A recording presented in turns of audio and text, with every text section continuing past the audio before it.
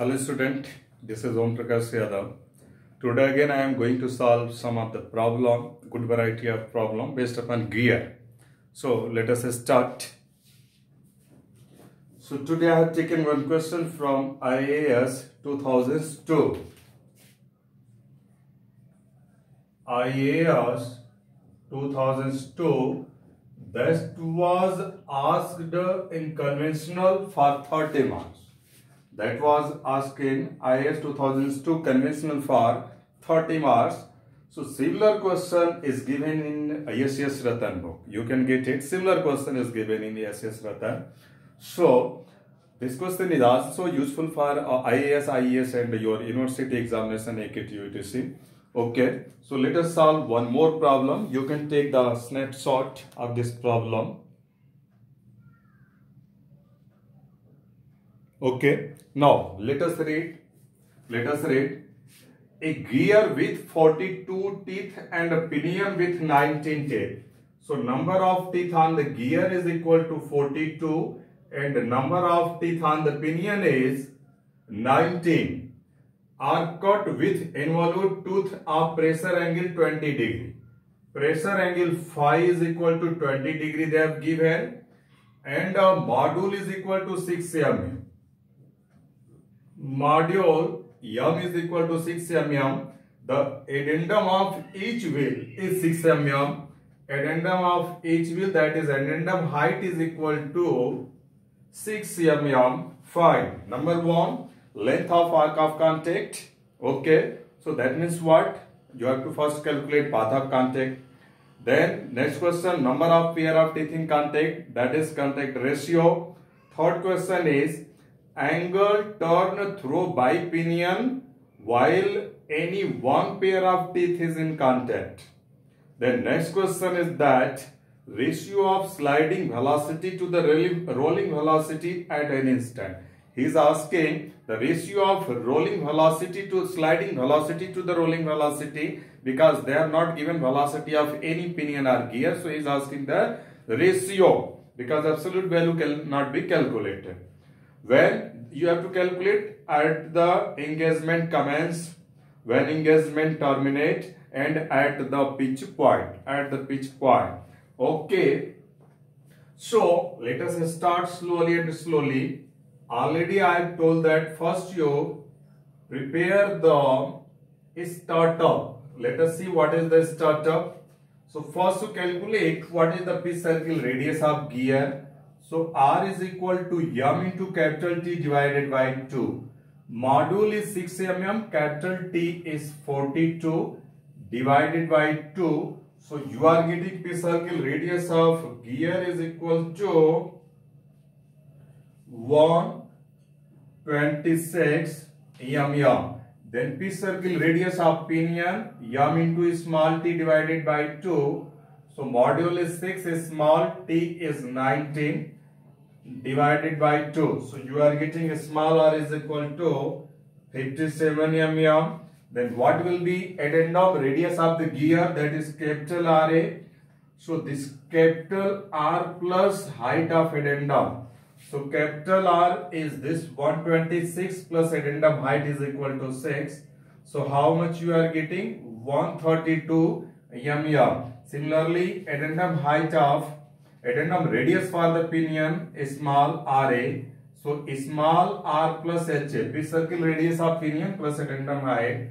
So this small r is equal to 57 plus h is equal to 6. So you are getting this 63 m. So this is the startup kind of thing. First you have to solve. First you have to get it before going into the uh, problem. Okay, because that uh, small small thing is required. So this is just like a starter. So you prepare first your starter. Now you come on your problem that what he is asking. The length of arc of contact he is asking. So to calculate the arc of contact, path of contact is required. So this path of contact, first you calculate path of contact is equal to this under root this capital RA square minus capital R square cos square phi minus capital R sin phi plus under root small r square minus small r square cos square phi minus small r sin phi. This is minus small r sin phi. So this is the path of approach and this is the path of recess. Look at here capital R and R. You have calculated phi pressure angle is given small r and r, small r and small r. You have calculated pressure angle phi is no. So each and each and everything is here. Already they have given r you have calculated. So let us put this value here. So what you are getting this path of contact this KL is equal to KL is equal to 15.263 mm plus 13.67 mm. So this is the path of approach and this is the path of recess. When you add this both, you will get path of contact at 28.93 mm. So, what will be arc of contact? Arc of contact is equal to this path of contact path of contact divided by cos phi. So this is what 28.93 divided by cos phi is 20 degrees. So you are getting arc of contact is equal to 30.79. 30.79. So you have calculated your first question. First question you have answered. First question is arc of contact. So you have calculated this is 30.79 mm. Let us see what is the next question. The number of pair of teeth in contact. That is known as the contact ratio. So contact ratio contact ratio is equal to arc of contact divided by circular pitch PC and a PC is equal to pi. So arc of contact is this 30.79 divided by this pi into module 6. So contact ratio I am getting 1.6335. So second question also you have answer. So question number 1 and 2 you have answer. now let us see what is the third question. The angle turned through by the pinion while one pair of teeth is in contact. So angle turned by pinion is asking. So you can calculate third angle turned by pinion del P is equal to arc of contact arc of contact divided by small r. So arc of contact is what? 30.79. 30.79 divided by small r. So small r you have calculated this 57. So you are getting angle turn by pinion in radian. This is what uh, 0.54. 0.54 when you convert into degree you will get 30.94 day. So also you have answered the third question. Third question. Okay. Let us see what is the fourth question. Just you remember, I am going to raise this. You write, note down.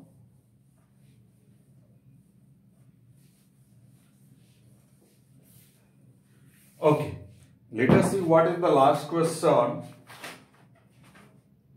the ratio of sliding velocity to the rolling rolling velocity at the instant तो इनको चाहिए ratio of sliding velocity to the rolling velocity fourth one let us see what is the rolling velocity that is also known as the pitch line velocity so rolling velocity we are is equal to either you can take from pinion or you can take from the gear. So just you use the formula V barabar R omega. So small r is cycle radius of pinion into omega of pinion or you can write by p circle radius of gear into omega of gear. So from this both you can calculate just v is equal to r omega. So this is a small r. So what will be its velocity? v is equal to r into its angular velocity. Same formula I am using. So velocity of rolling you can calculate from here. Then velocity of sliding. So that will be constant. Uh, at each and every time that velocity of rolling will be constant that are not changing but velocity of sliding is changing from start of engagement to the end of engagement. Velocity of sliding is given by this omega p plus omega g into this qp is the pitch point and the q is the point of contact. So distance between pitch point and the point of contact. Okay. So let us see that we have the kinematic relation this omega p divided by omega g is equal to number of teeth on the gear divided by number of teeth on the pinion.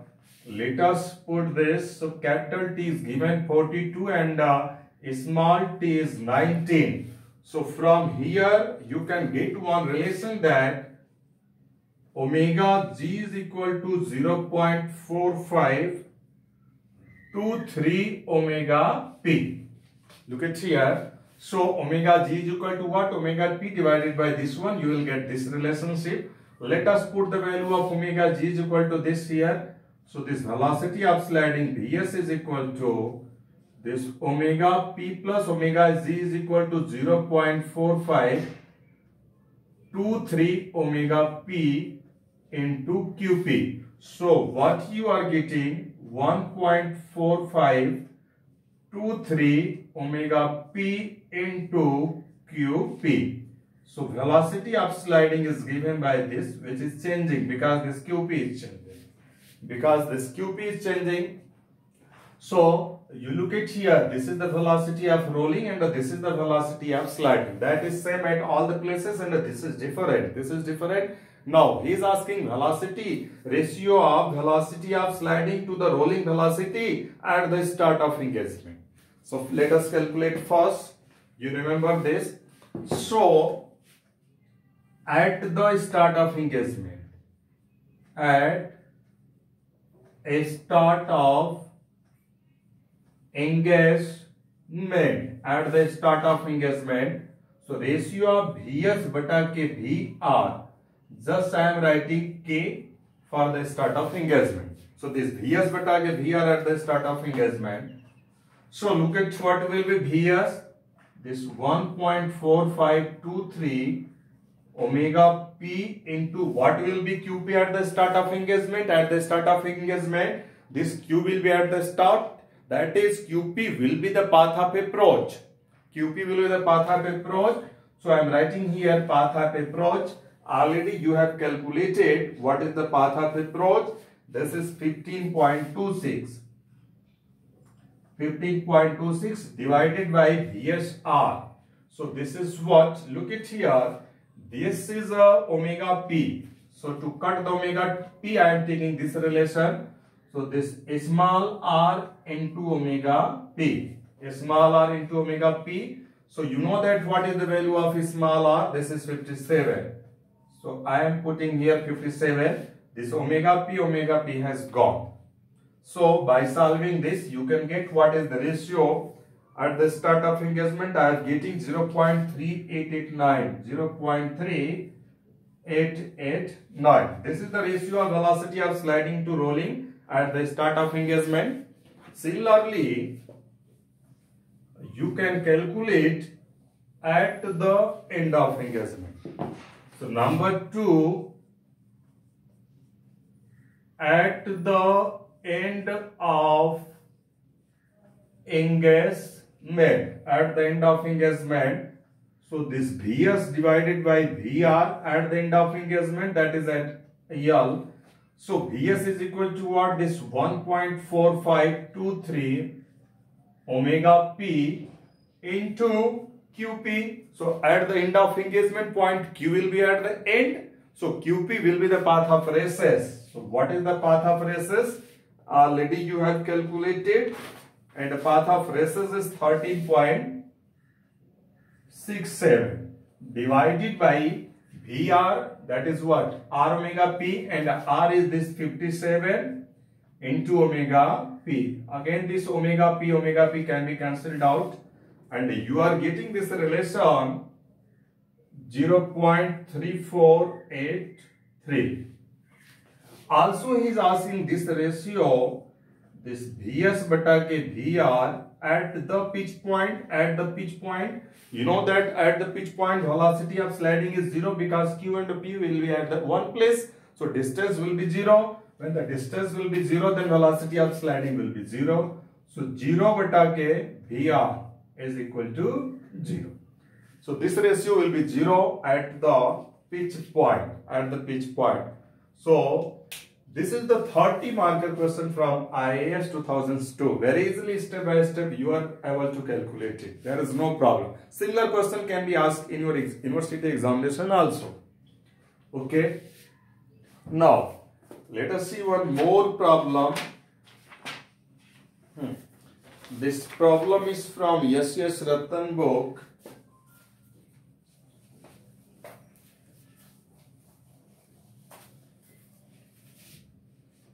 Okay, let us see.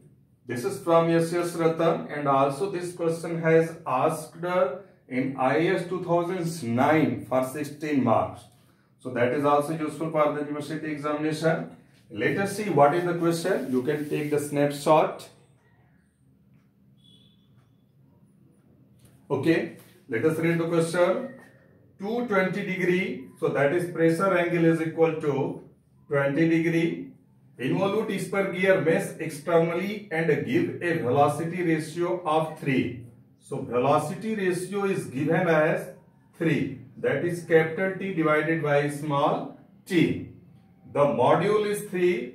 Module m is equal to 3 mm and addendum of the gear is equal to addendum of the gear I am writing here addendum of the gear is equal to 1.1 time the module. That is 1.1 time the module. Let us see what does mean by this. Find minimum number of teeth on the gear and pinion to avoid the interference. A minimum number of teeth on the gear and pinion to avoid the interference. Okay. So I am having this much data, this much data so let us see what does mean by this HAG. Addendum of the gear is equal to 1.1 time module. So this means that AG is equal to addendum coefficient of the gear is equal to 1.1. So actually this is what the addendum coefficient of the gear. Addendum coefficient of the gear. So this minimum number of teeth on the gear can be calculated First you calculate minimum number of teeth on the gear, then you calculate minimum number of teeth on the pinion. Okay, that is the actual procedure. So minimum number of teeth on the gear is given by this 2 times AG under root this 1 plus 1 by capital G 1 by capital G plus 2 into sine square phi into sine square phi minus 1 minus 1 that is outside the under root. T minimum can be calculated from this formula. Okay. So this velocity ratio is equal to T. This is capital T by small t that is also known as the gear ratio. Velocity ratio is greater than 1. So that will be also gear ratio. Okay. So each and everything given you have to put. So this 2 times 1.1 divided by under root 1 plus 1 by 3. 1 by 3 plus 2 into sine square 20 degree minus 1. So you are getting minimum number of teeth on the gear is equal to this 49.44. So number of teeth on the gear is 49.44 but that, that cannot be fraction. That cannot be fraction. Now calculate the number of teeth on the pinion. So number of teeth, minimum number of teeth on the gear should be what? 49.44. This cannot be fraction. So let us take the close value. So close to that is 50 teeth. So I am taking number of teeth on the pinion. sorry, gear is equal to 50. then you calculate number of teeth on the pinion. Let us see. That also should not be fraction. So you are having this relation. So this G is equal to capital T bata K small t. So if this is minimum, this will be also minimum. So this is 3 and the capital T minimum is 50 divided by small t minimum. So from here, you are getting minimum number of teeth on the pinion is equal to 50 divided by 3. So this is how much? This is a 50 divided by 3. This is a 16.66. So when you are taking minimum number of on the teeth, to the round off because that cannot be fraction number of teeth cannot be fraction so you have taken 50 but again you are getting minimum number of teeth on the pinion as a fraction. So what will be your answer? Means you have to take the next round. Next round because this is the minimum number of teeth. If you will take 16 there will be an interference. So to avoid the interference that value should be next one. So minimum number of teeth on the pinion is equal to 17, then what will be minimum number of teeth on the gear? This, by using this formula, 17 into 3 is equal to 51. So that is your answer. Minimum number of teeth on the pinion should be 17 and minimum number of teeth on the gear should be 51. So that is the way. So this is what selection is, uh, uh, decision making process. This is what the decision making process. You have to make the decision. I have, I have taken this as a whole, but again you are getting the minimum number of teeth on the pinion as a fraction. So again, that should not be fraction. That should be what the whole number. So I have taken this is equal to what? 17. 17. Then again you calculate the minimum number of teeth on the gear. So you are getting again fraction 17 and 51 will be the number of teeth on pinion and the gear. Okay. Thank you very much.